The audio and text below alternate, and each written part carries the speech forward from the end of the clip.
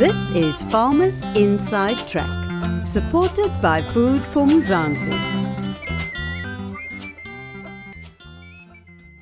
What makes to be, um, to be an entrepreneur in South Africa so unique, tougher, and all that is, is they are people first.